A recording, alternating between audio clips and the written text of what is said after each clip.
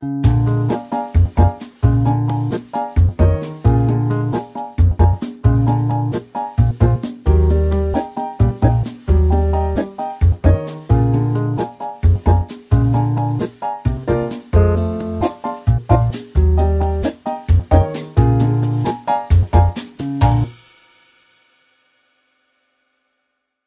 child, did, did you notice a little child on the pram who was shouting ananas, ananas Yeah, when we were in the garden? yeah, and um, yeah, I, the the young ones, uh, you know, it, it, it's hard to for the young one to understand everything about uh, philosophy, the mindsets, and stuff like that. But uh,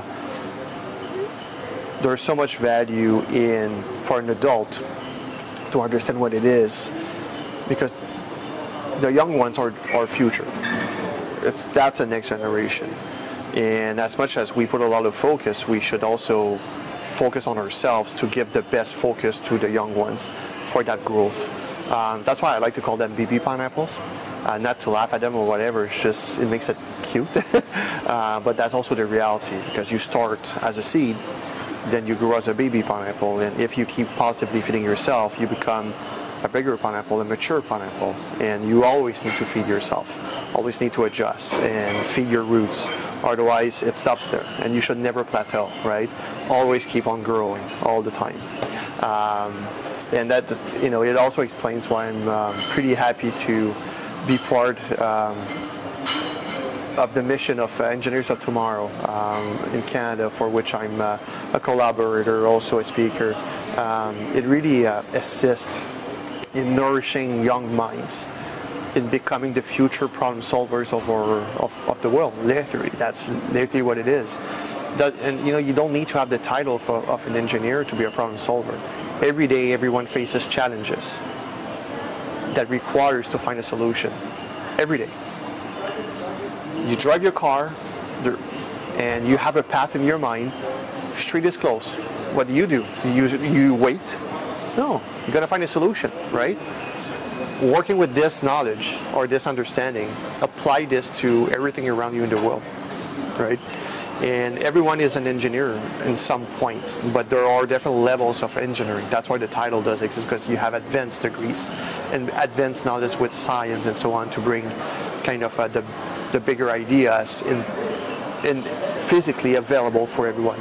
Um, but understanding the problem solving piece of starts within. And what starts within allows to also make that transition uh, from a negative emotion to a positive emotion. And when how great do we feel with ourselves when we think that we've hit a problem and we found a solution? We feel lighter yes? Because the, the, what we think is a problem is, is the weight on our shoulders now imagine if the young ones are learning this at a very early age. Their growth is more positive and they, they're more relaxed and, and truly in, in confidence with what they will reach in the future or throughout the path. There, there's going to be some fails. Um, and that's what's great with the engineers of, of tomorrow or, or whatever I do with them is because they work as a team, they become problem solvers together. So it does bring that collaboration together and be open-minded to other potential solutions. And throughout Earth timeline, there has been several solutions to a single problem. The key. Simple solution. We want to have a door locked. How many different keys exist out there? Oh, tons. The wheel. Simple thing whatever rules, right? Uh, the light bulb. We need to see something. We need to illuminate our lives. Well, there's lots of light bulbs. Everyone engineered a light bulb, but there's different forms to it. It's the same same final result, right? But it's different shaped. So uh, this diversity of ideas teach to the young ones brings a lot of open-mindedness to different alternative, diversity of thoughts, collaboration, and if their starting point is pointing a ananas, saying ananas, ananas, um, well, that's right there. There's the start of something. Let me explain to you what you can do with this ananas, right? And, and as they grow, you can start to tie in additional maybe uh, um, way to face a problem with their thoughts. using the theory that is shared in the books. So, uh, so when someone, when I hear young ones say ananas, well, something is already in the mind, right?